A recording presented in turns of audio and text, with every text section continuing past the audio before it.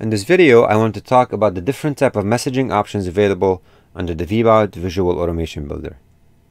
VBOUT supports three types of messaging uh, options, emails, SMS, or browser push notifications.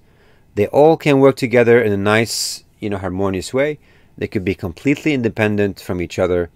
And one thing to note is that the method of delivery, the compliance, the unsubscribe, the tracking is completely different between each one of these channels um, in terms of how you can map it out, I just created this sample here that uh, these are three different workflows that are date based. They don't really wait for an engagement.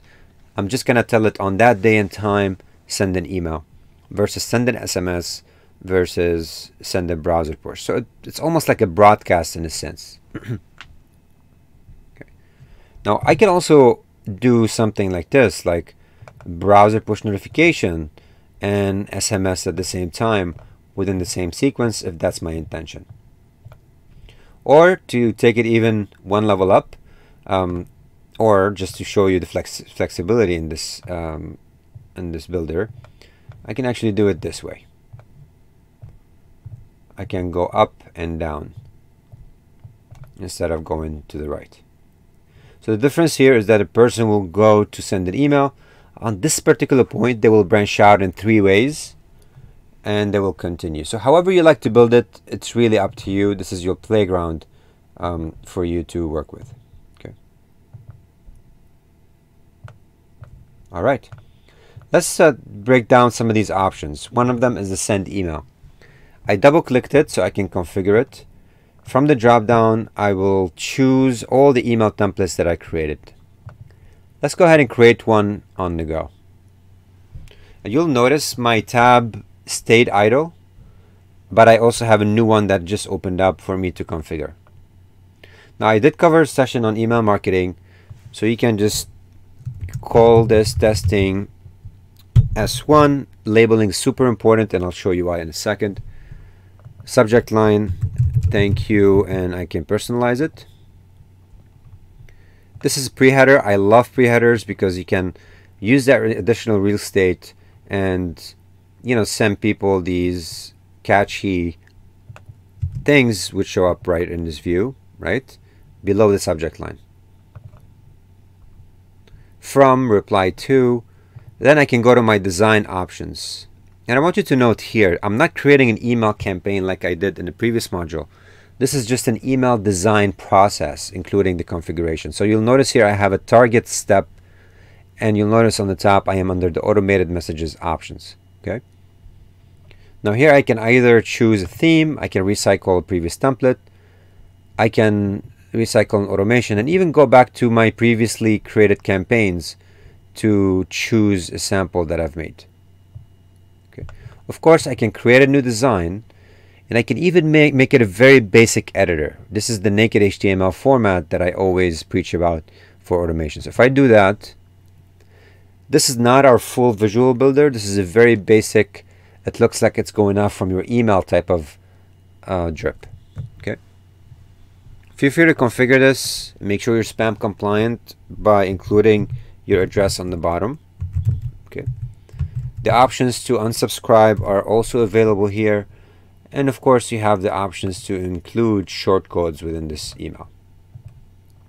Save. I can do my inbox testing and all.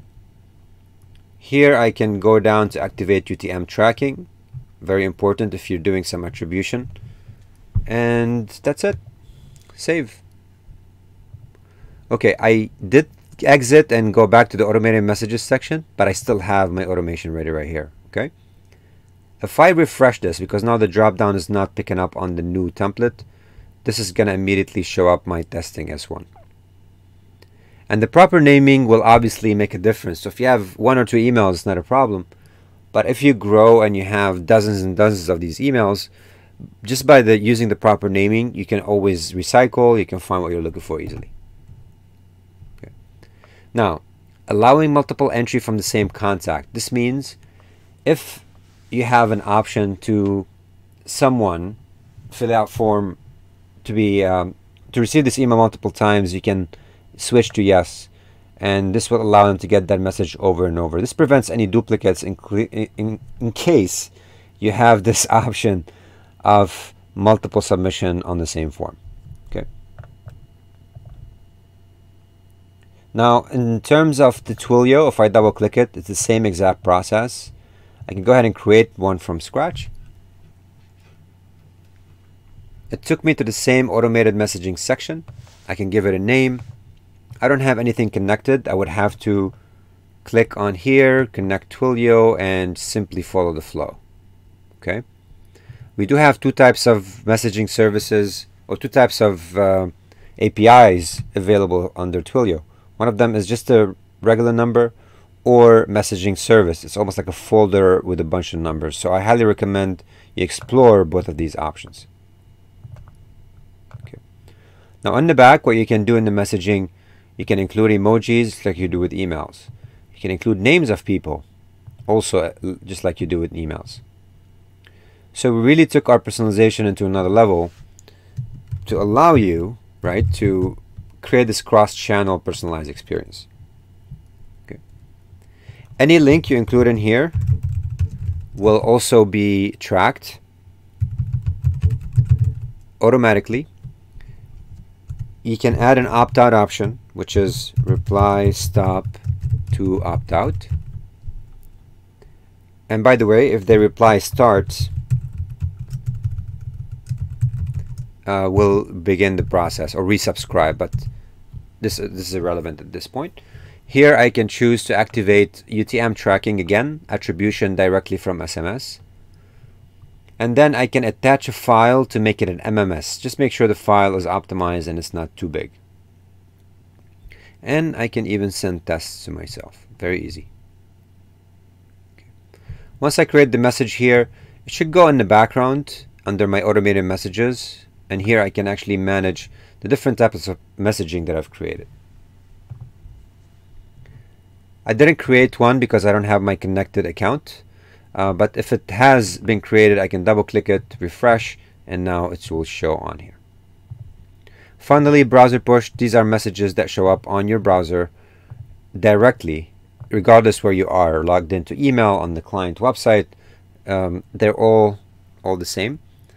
And it follows very similar DNA to the SMS with a little more flexibility. So here I can give it a name. This is web push S1 I have to choose where I'm activating this. Am I doing this on my website? If I activated web push there or on my landing pages where I activated web push. And I have a session on how you can activate web push notifications on your landing pages. I'm going to give it a title. Uh, the title could be thank you and look personalized. I really love personalization.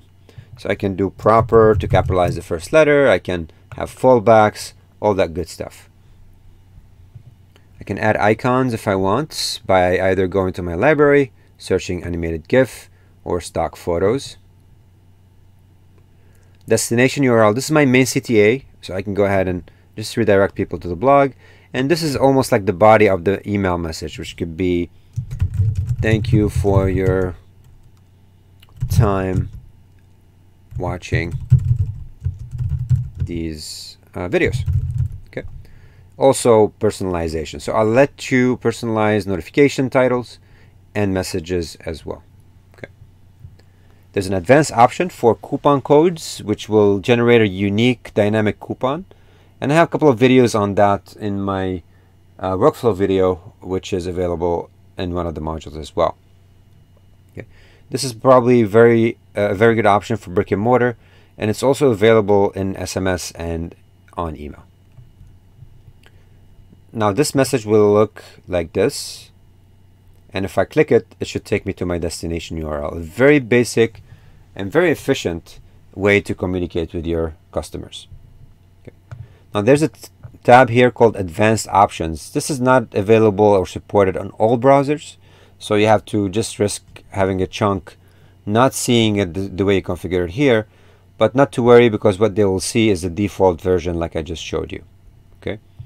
But here what that does it's going to create some sort of a header.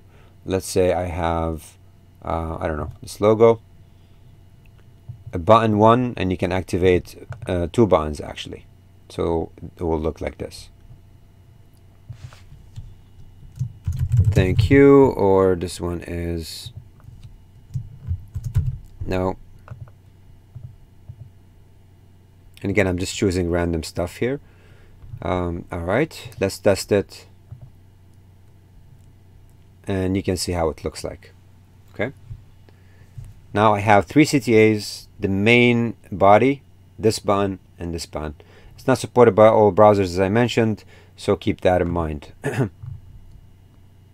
alright and now I'm gonna save and go back to my automation refresh and it's right there. Very easy very basic. Now in terms of the triggers there are some options you have to configure first as well. If I double click on specific date and I'm sending an email you'll notice here what is your target list? Audience or web push?